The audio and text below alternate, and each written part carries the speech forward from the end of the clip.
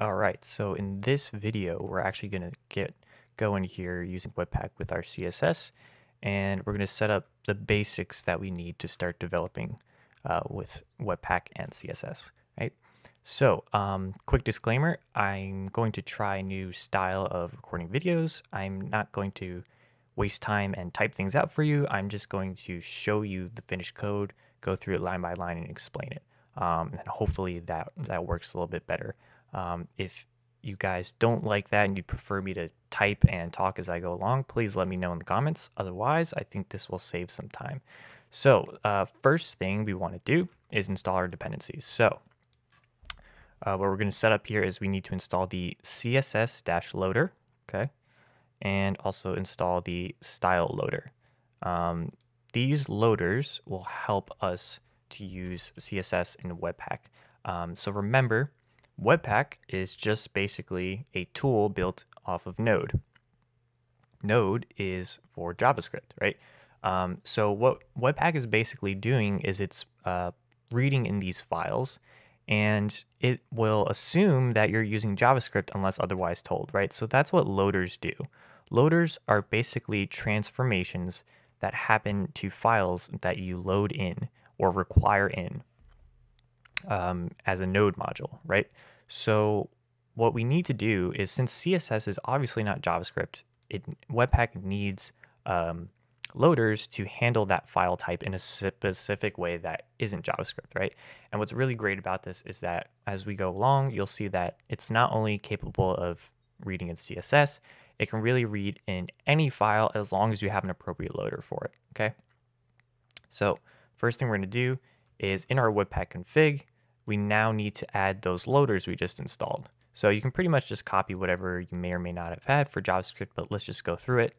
So the test value again will determine if the file that is being required should use a certain loader, right? So for the test, we're gonna write a regex that will say the file name must end, hence the dollar sign here, in a .css, right? So that way it knows any files that are of uh, extension .css will be run through this loader instead, okay?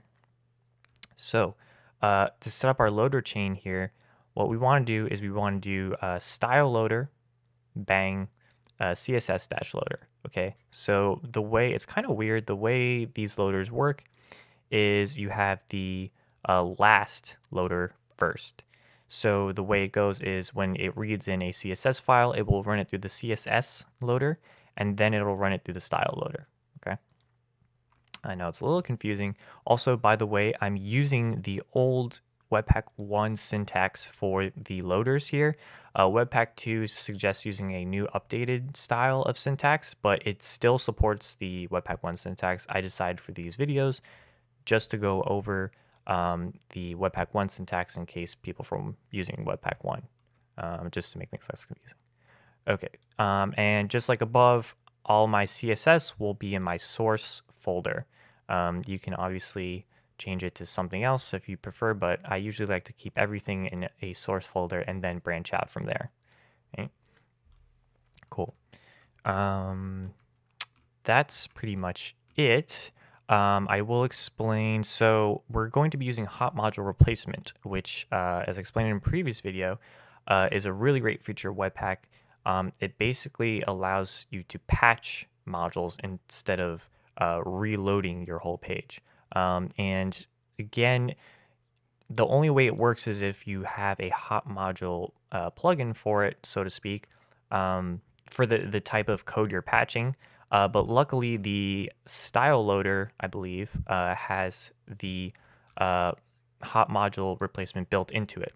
So essentially what this means is if you make a change in your CSS, rather than reloading the page, it'll just patch the CSS for you, um, which is great because most most often, if you're just making a small style adjustment, you don't really want to reload the entire page, um, especially if you're working with JavaScript too.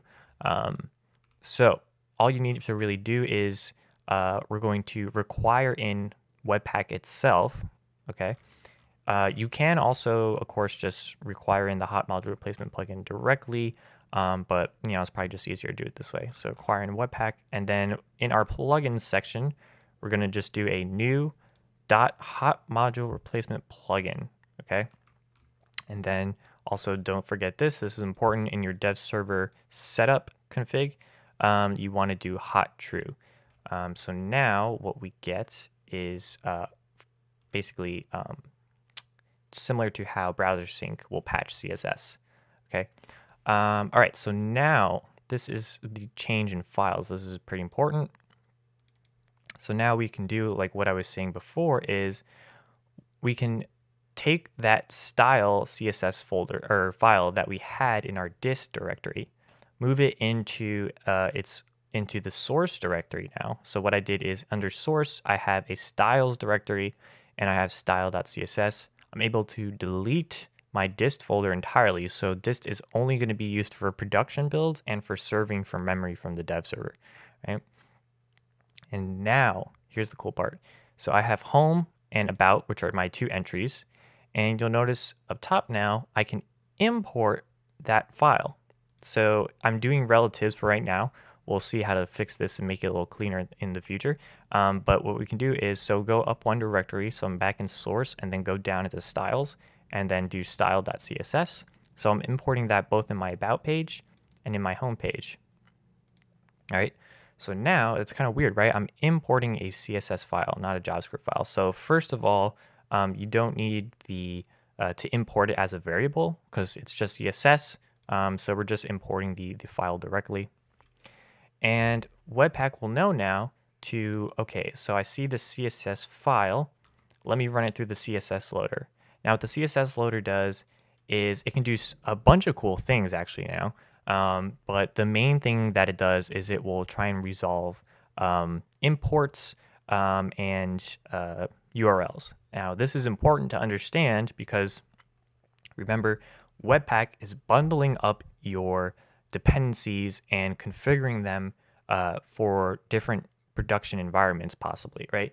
So the paths, right? So we have an input and an output, like I explained in my other series, right? So the structure of your input, in other words, your source files, in terms of paths and how they're resolved, could be totally different uh, on how you want your final distribution uh, file uh, organization to be, right? So uh, if you're using import statements or URLs um, to resolve files, Webpack needs to know about that and change them so that they're correct uh, when built for distribution. If that doesn't totally make sense now, I promise it will in the future. Um, but just know that the CSS loader is important as well as it helps to parse CSS. You can also do things like minifying your CSS here um, and stuff like that. So that's pretty cool. Um, there's also CSS modules, which I might explain later, but it's not not too key for right now. Um, then the style loader is important. Uh, it's only going to be a tool that we use for development. Uh, we'll talk about production tools after, but um, what the style loader does is basically if I look here now in my page, First of all, you can see that uh, my sources here for the page is still just this JavaScript bundle. And another note is in the index, I've deleted the link to the style sheet because I don't need it anymore. Um, and this is why. So if I look at the elements here, if I open my head tag, make this a little bit bigger. If I open my head tag, you'll see that I actually have a style tag. And if you notice, it's my style CSS. So basically what the style loader does is any CSS any CSS file that it sees being imported, it will create a style tag in the head and inject it, right? So this is really, really great because uh, when you're developing, um, this makes it really fast. Uh, it's all being loaded in your JavaScript. Um, for production, it's not so ideal, but this is really great for um, development.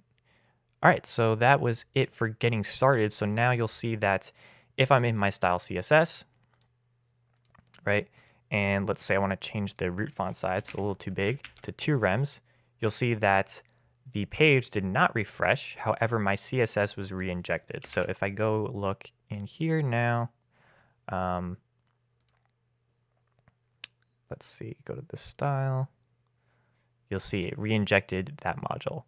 Now, don't be confused. If you have multiple CSS files now, you can start importing them separately right from the JavaScript.